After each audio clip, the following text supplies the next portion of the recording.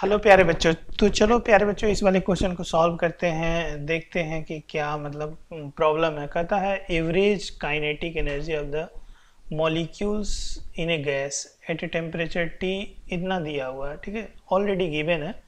That is kinetic energy whatever जो average value of kinetic energy है, वो gas का 15 के दिया हुआ है where K is the Boltzmann constant and T is the temperature already यहाँ पे दिया हुआ है।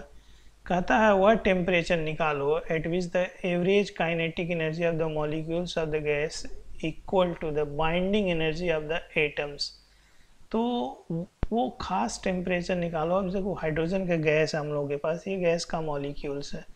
तो इस, ये गैस है, इसके बहुत सारे मॉलिक्यूल्स हैं हाइड्रोजन के, ये। तो ये कहता है कि हमें वह टेम्परेचर निकालो, जिस पे इनका जो एवरेज काइनेटिक एनर्जी है whatever this is the average kinetic वो बाइंडिंग एनर्जी के इक्वल है.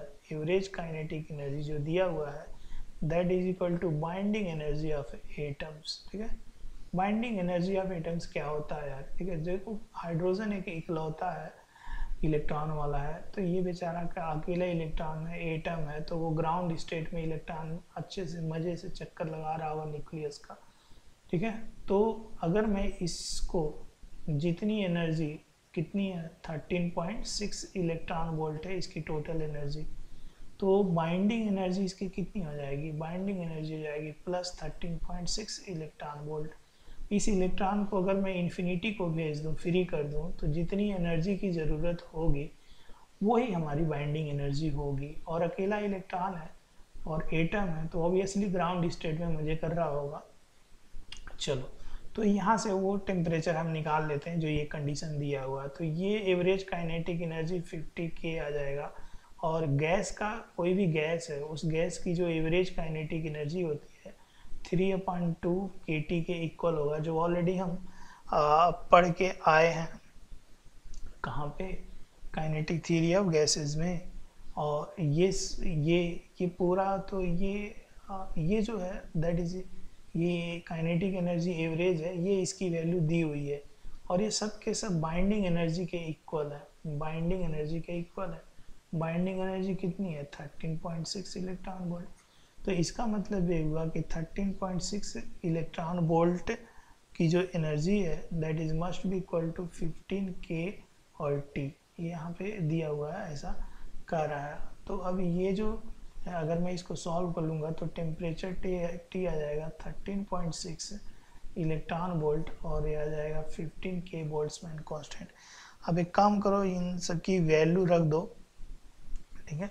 तो अगर आ, मैं वैल्यू यहाँ पर रखूँगा तो ये आ जाएगा 13.6 और टेम्परेचर हमें केल्विन में निकालना है electron 1.6 point six into ten की पावर माइनस नाइनटीन और 15 और ये जो है देखो तो किसमें दिया हुआ है?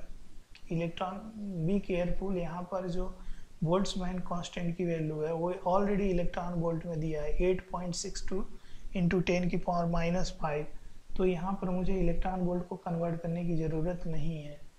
तो यहाँ पर मेरे प्यारे बच्चों, इस इस, इसको हमें कन्वर्ट करने की ज़रूरत नहीं है, क्योंकि ऑलरेडी ये दिया हुआ है 8.62 point six two into ten की power minus five electron volt और पर केल्विन ठीक है? तो यहाँ पे जो भी इलेक्ट्रॉन वोल्ट होगा इलेक्ट्रॉन वोल्ट से ख़त्म हो जाएगा केल्विन ऊपर चला जाएगा। और ये कहानी इसको काट कूट लोगे तो 1.05 point zero five into ten की पावर फाइव केल्विन आ जाएगा। और टेन की पावर फाइव केल्विन एक बहुत ही ज़्यादा टेम्परेचर होता है, ठीक है?